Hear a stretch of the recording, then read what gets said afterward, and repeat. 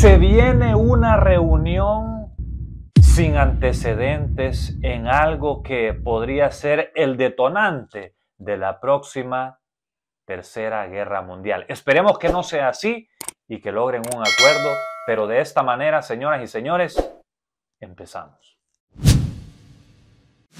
Fíjense ustedes lo que les voy a presentar en pantalla a continuación. Fíjense, Ucrania atacó una terminal petrolera rusa y Zelensky declaró que la guerra acaba de entrar en una nueva fase. Y debido a eso, habrá una reunión de emergencia próximamente y ya les voy a estar revelando todos los detalles. Pero ¿cómo fue que hemos llegado hasta ese punto? Primero veamos todo eso, cómo, qué es lo que ha sucedido en estas últimas horas. Contarles Zelensky se había venido tramando dar un gran golpe a los rusos. Vino hace un par de semanas, estuvo aquí en la reunión de la ONU, habló con Trump, habló con Kamala Harris, habló con Biden, habló con los congresistas, habló con medio mundo el hombre, con todo el mundo. Y les contó que él se tenía un plan con el cual iba a terminar ganando la guerra. No le creyeron mucho y es más, ya no se estuvieron tan convencidos de que las cosas que le dice Zelensky son ciertas. Es más, hay algunos que se atreven a afirmar que Zelensky se ha, emocionalmente, se ha visto emocionalmente afectado, lo cual es lógico, cualquiera. Estar en medio de una guerra no es fácil. Y que eso lo podría estar llevando a tomar decisiones erróneas. Y entonces vienen y las fuerzas ucranianas atacaron una terminal petrolera rusa en Crimea que provee combustible para la campaña bélica de los rusos, dicen, informó el ejército de Ucrania. Al tiempo que el presidente Zelensky anunció que la guerra ya se encuentra en una nueva fase. Ya no, imagínense ustedes todas las cosas que se están viendo en estos momentos en el mundo. Zelensky ha expuesto a mucha de su gente. Yo ya no sé ni qué pensar. ¿Será que los ucranianos son del mismo sentir que él? Porque a veces esa información no llega a cuentagotas. Lo mismo por el lado de los rusos. Ambos bandos se enfrentan al tema de cómo sostener su costosa guerra de desgaste en un conflicto que ya lleva desde febrero de 2022. O sea, llevamos, ya vamos para casi tres años.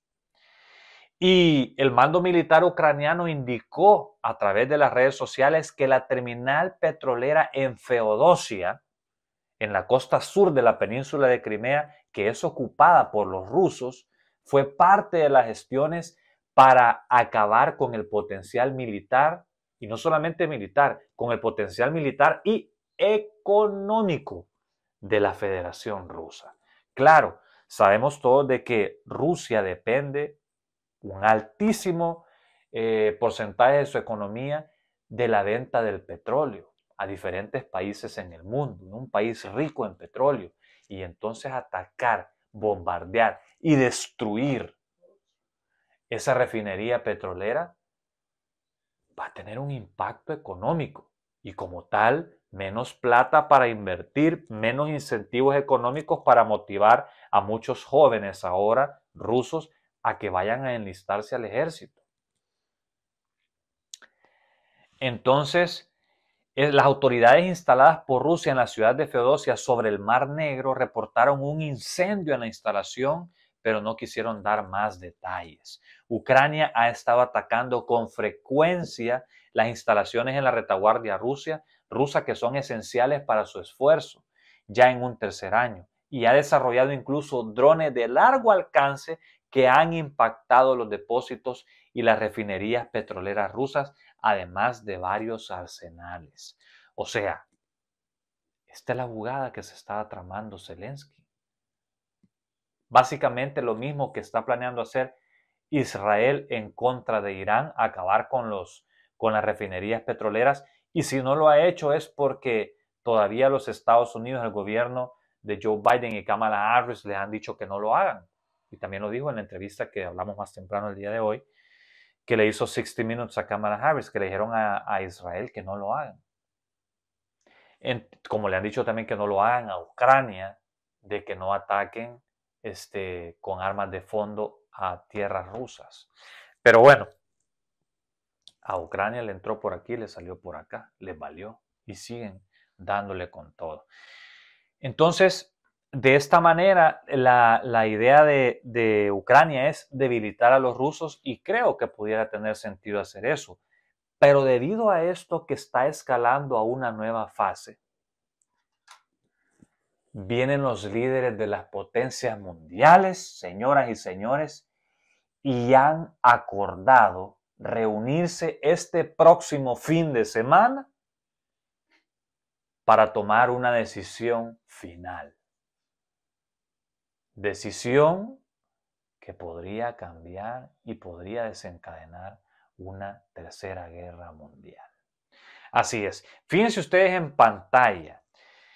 Dice, Kiev sigue esperando la respuesta de sus partidarios occidentales a sus repetidas solicitudes de que les permitan usar armas de fuego de largo alcance que le han dado para atacar objetivos en suelo ruso, porque Estados Unidos se opone y los países de Occidente, Europa también.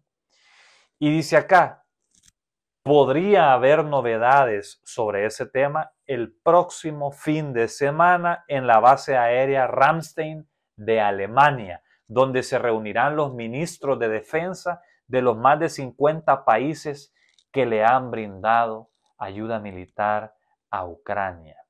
Este conflicto ha derivado en gran medida de una guerra de desgaste.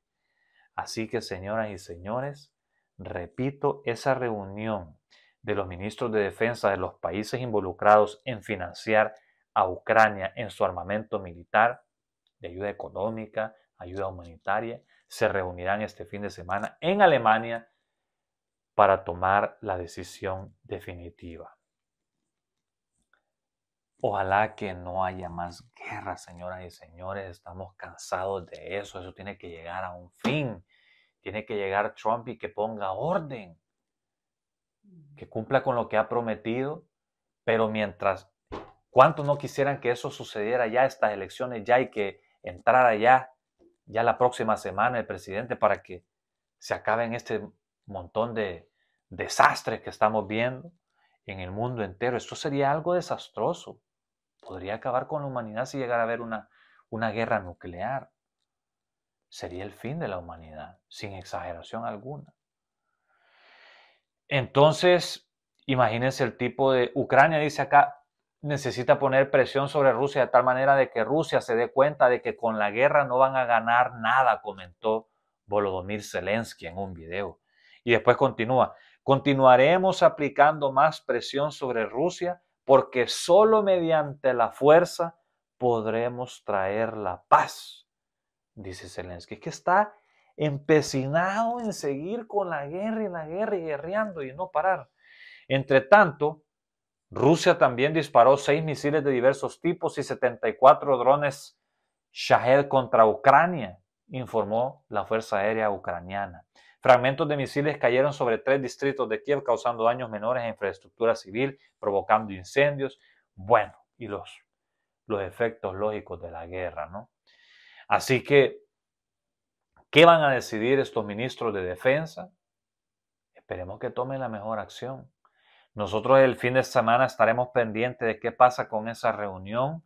Seguramente el lunes estaremos trayendo información, a menos que cada, ocurra algo de emergencia que tengamos que compartir en el momento, nos estaremos eh, trayendo una información de última hora. Si no, la pueden esperar el día lunes. Así que, señoras y señores, llegamos hasta por acá. Espero que les haya gustado. Si pueden compartir el video, sería fantástico. Si se quiere suscribir, mejor aún. Y si le da un me gusta, sería un plus. Llegamos hasta por acá. Les ha saludado Howard Melgar. Se me cuidan mucho vemos en la próxima. Chao.